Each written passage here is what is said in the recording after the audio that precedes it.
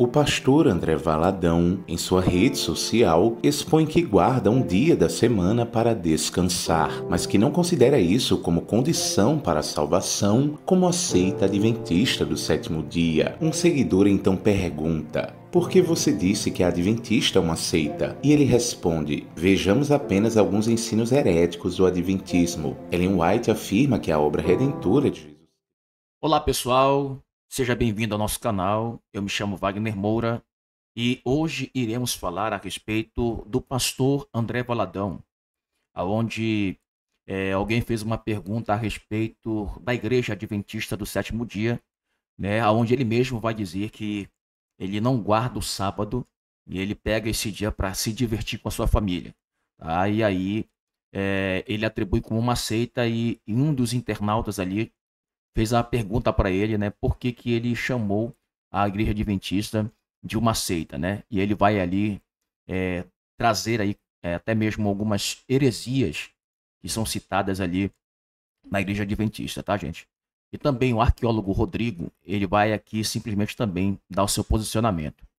Gente, você que está chegando aí, eu peço para você deixar o seu like. Você que não é inscrito, inscreva-se no nosso canal e ative o sininho para receber todas as notificações, tá?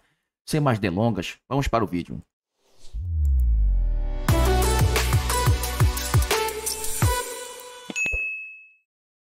O pastor André Valadão, em sua rede social, expõe que guarda um dia da semana para descansar, mas que não considera isso como condição para a salvação, como aceita adventista do sétimo dia. Um seguidor então pergunta: por que você disse que a Adventista é uma seita? E ele responde: Vejamos apenas alguns ensinos heréticos do Adventismo. Ellen White afirma que a obra redentora de Jesus Cristo na cruz foi incompleta, vindo a completar-se somente no ano de 1844. Afirma que Jesus Cristo não fez a expiação na cruz pelos nossos pecados. Afirma que Jesus, após a sua ressurreição, estava inseguro, pois ele não tinha a certeza de que seu sacrifício havia sido perfeito. Ellen White afirma categoricamente que Deus disse a ela o dia e a hora da vinda de Jesus. Ellen White afirmou que a Igreja Adventista do Sétimo Dia é a única igreja verdadeira neste mundo e que as demais igrejas cristãs protestantes foram rejeitadas por Deus após o ano de 1844 e muito mais doutrinas absurdas. Uma seita. Rodrigo Silva, teólogo e arqueólogo que faz parte da Igreja Adventista do Sétimo Dia, ofendido, escreve: Lamento a postura belicosa do pastor André Valadão contra a Igreja Adventista. Sempre fomos respeitados pela Lagoinha quando o pastor Márcio, seu pai, era o presidente. Meu programa Evidências sempre esteve na grade da Rede Super.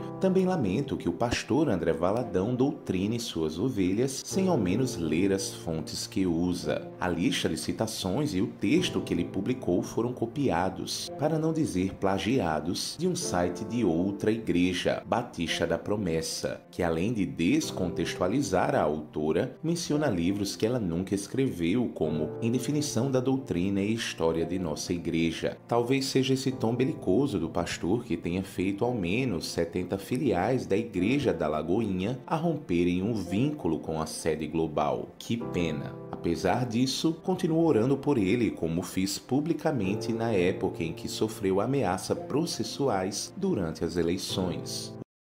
Bom, gente, o que que acontece no dia de hoje? Né?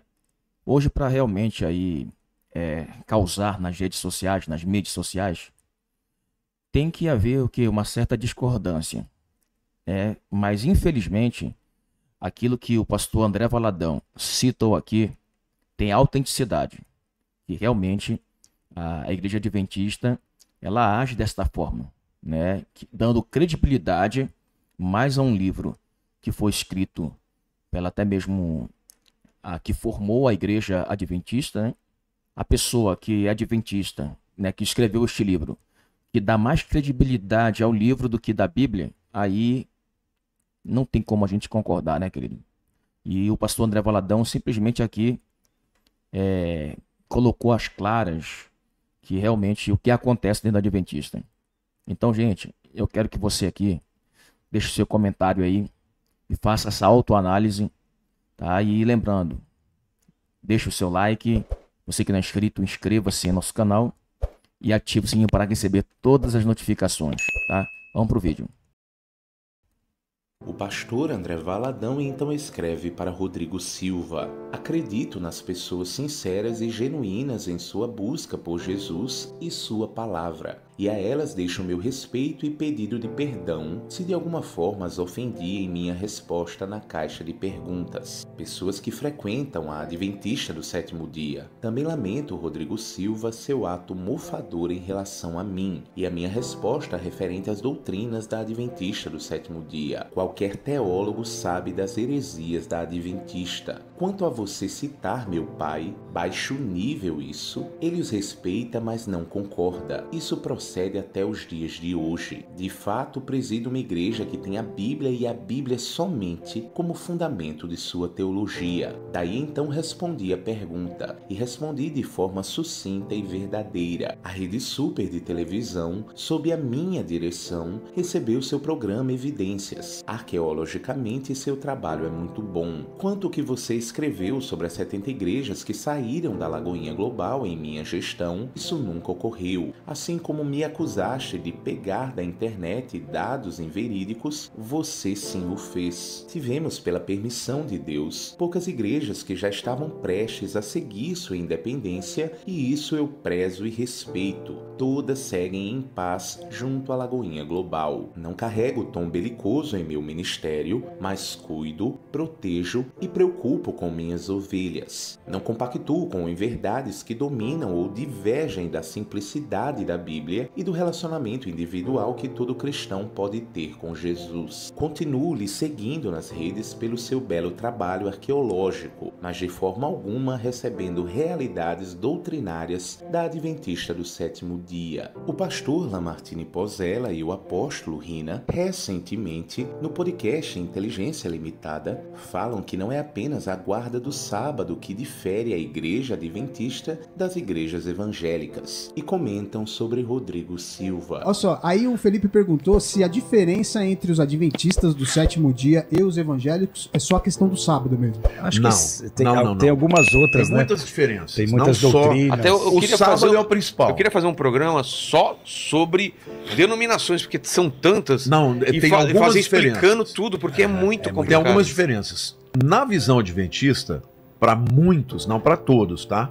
Mas o, o adventista mais tradicional, quem não guarda o sábado nem salvo é, na prática. Ah, é? Na prática. Tem as questões escatológicas que divergem ah, bastante. Mas existe uma segunda questão que é mais importante, que é a questão da, da Ellen White. Ellen White, que é a escritora que a fundamenta... A escritura que fundamenta a doutrina é, adventista, que tem coisas contrárias à Bíblia.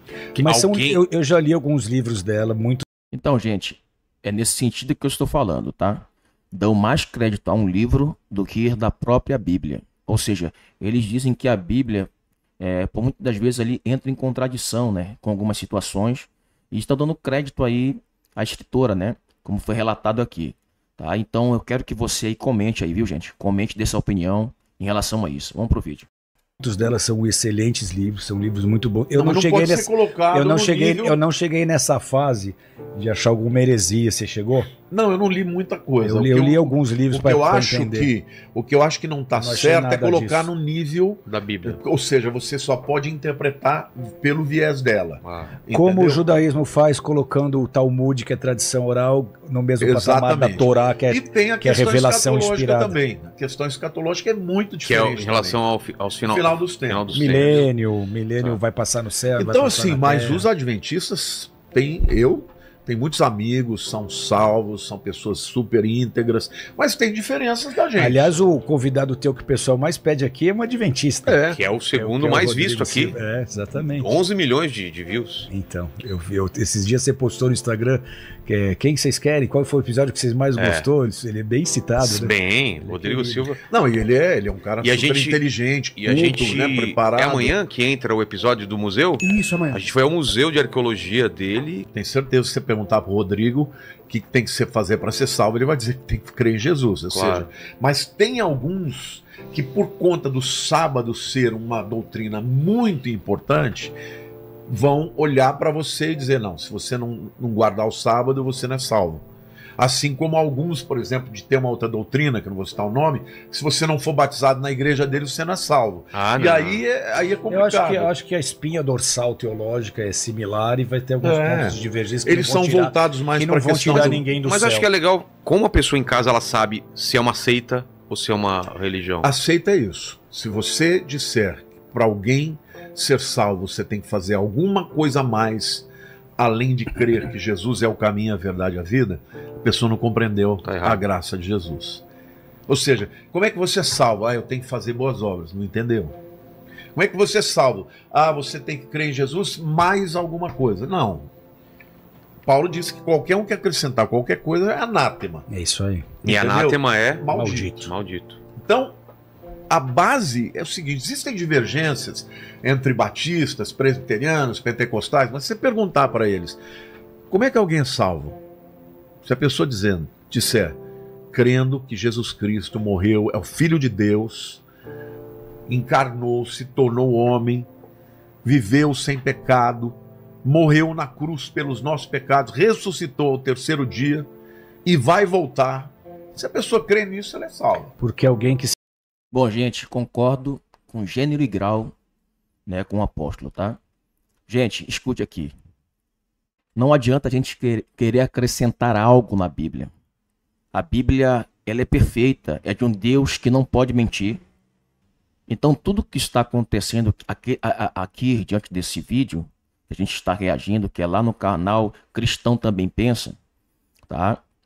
Se você for analisar, realmente existe coisas obscuras que estão por trás, né? Heresias mesmo daquelas de derrubar mesmo é, uma formação cristã, né? E aqui o pastor André Valadão fez a sua colocação, né? O, o arqueólogo Rodrigo também se sentiu ofendido, né? E houve esse, essa troca de comentários nas redes sociais aí. Né? Então, por isso que eu quero que você faça a sua análise aí, comente, viu, gente? Tá? Você guarda o sábado? Comente aí, tá? Comente que é de suma importância. Vamos pro vídeo. Serve um demônio nunca vai dizer isso. É. Alguém Você que tá no caminho do inferno Agora, nunca vai repetir disser, isso. Não, ela tem que fazer as boas obras, não entendeu. Fred Arraes escreveu para Rodrigo Silva: Pastor André Valadão errou em que? Porque o Senhor não colocou aqui a verdade então. Rodrigo Silva: Tenho amigos adventistas, cuidei de adventistas e posso afirmar que muito do que ele postou existe realmente. Acho que falar que fez programa na Rede Super não muda nada. Afinal, era só comprar o horário. E também acredito que criticá-lo pela transição do pai é baixo e atitude pequena. Afinal, toda mudança de liderança também traz mudanças dentro das organizações e até realmente pessoas que não permanecem por identificação. Te admirava como historiador. Infelizmente, só provou que o André Valadão tocou na ferida. O adventismo que prega que os textos de Ellen White são tão sagrados quanto as escrituras, o proselitismo religioso ou a tentativa de mostrar às pessoas um adventismo light, respeito os adventistas, respeito à Lagoinha, mas neste caso o André Valadão está 100% certo. Bom, gente, chegamos ao final do vídeo, tá? Você viu aí que realmente é, o arqueólogo Rodrigo caiu em descrédito até mesmo por ter dado essa legalidade, né? De querer aí provar que a escritora, né, Ellen White, né, é, tem mais credibilidade do que a própria Bíblia, né? Gente, isso aqui é seríssimo, tá? E o pastor André Valadão também tem meus parabéns, tá? Pela linda colocação de poder explicar por que, que a igreja adventista age com heresia e é uma seita, né? Gente, aqui é apenas a minha opinião, não estou aqui para julgar ninguém, mas eu confio plenamente na palavra de Deus e ela é perfeita, de um Deus, como eu disse aqui, que não pode mentir, um Deus perfeito e poderoso. Tá? Então, eu peço para você, encarecidamente, que você deixe o seu like, tá? Você que não é inscrito, inscreva-se em nosso canal e ative o sininho para receber todas as notificações. Quando você faz isso, o YouTube recomenda para mais pessoas, tá? Muito obrigado, que Deus abençoe sua vida. Um grande abraço e até o próximo vídeo.